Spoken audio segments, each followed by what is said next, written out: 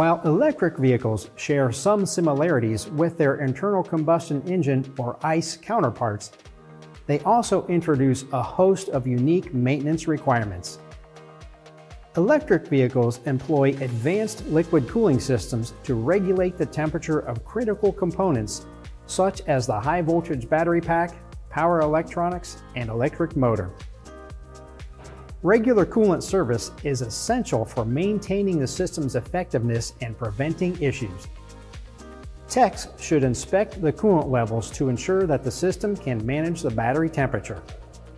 Typically, the coolant reservoirs are found under the hood or frunk, and the level can be seen through the reservoir.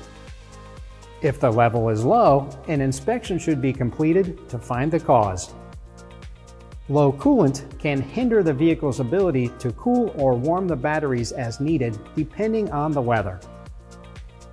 EVs may require special coolants, and the maintenance intervals vary from one manufacturer to another, so it's best to look in the service manual to determine when it should be replaced.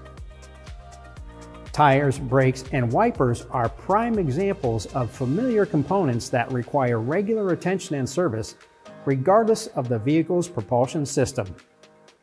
Due to an EV's weight, tire replacement intervals are much more frequent. On average, EV tires last 6,350 fewer miles than those fitted to internal combustion engine vehicles, according to data taken from Epyx's 1link service network platform which is used by car and van fleets totaling more than 4 million vehicles to manage service, maintenance, and repair. Inform your customer about the weight differences between an EV and an ICE vehicle, and providing visual proof of the tire's tread depth are good ways to help them understand why their tires may be worn more quickly than they anticipated.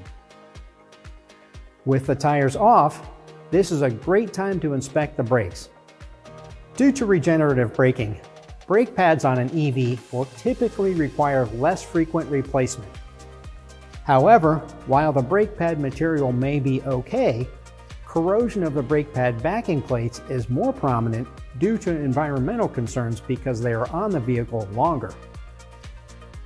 Another component that has to deal with the environment and is often overlooked or forgotten is the 12 volt battery. While serving a similar function to ICE vehicles, the 12-volt battery in an EV plays a crucial role in powering various auxiliary systems. Regular battery testing, charging, and replacement are essential to prevent issues such as electrical system failures, difficulty starting the vehicle, reduced range, and performance. The 12-volt battery testing method is the same as a standard ICE vehicle but ensure the battery tester you are using is capable of reading results from AGM or absorbed glass mat and EFB or enhanced flooded batteries as well as flooded batteries.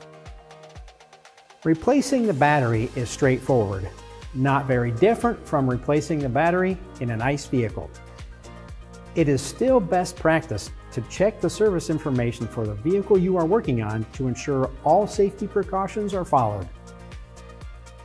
By investing in specialized training and skill development, technicians can position themselves as trusted experts in the field of EV maintenance and be capable of delivering exceptional service. EV training can be found through many different providers such as ASE, I-CAR, and here in the BendPak EV Garage video training series. For more options available in your area, a quick internet search will provide you with hands-on training as well, usually in partnership with local technical institutions and training facilities. I'm Eric Garba, coming to you from the BendPak EV Garage Studio at Babcox Media.